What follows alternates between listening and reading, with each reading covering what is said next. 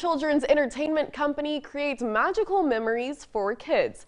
The family-owned business Once Upon a Party hosted a royal snowflake ball in Bismarck Mandan.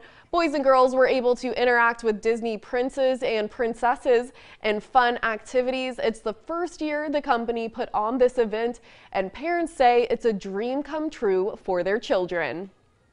Love to see the pure joy on her face when all the princesses interact with her. when all the princesses interact with her and she experiences something that I she never got to do. And we come basically because every little girl wants to be a princess, and this is the place to be a princess. The company is based out of Minot. This is the last ball of the year, and they hope to start planning for next year.